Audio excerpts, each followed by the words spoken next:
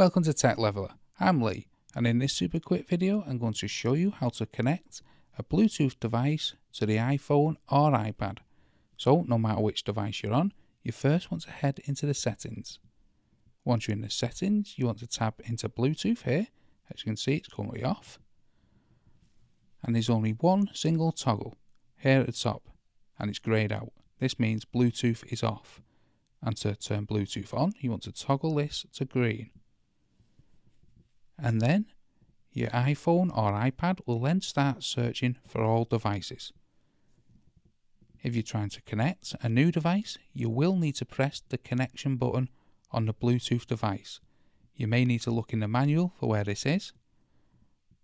And once the device is found, you'll be able to tap onto it and then it will connect to that Bluetooth device by saying connected. And you can press the I here at the end and change and or forget this device. So that's how to connect a Bluetooth device to the iPhone or iPad. I hope you found that video helpful. If you did, smash the like, smash the subscribe, and most of all, thanks so much for watching.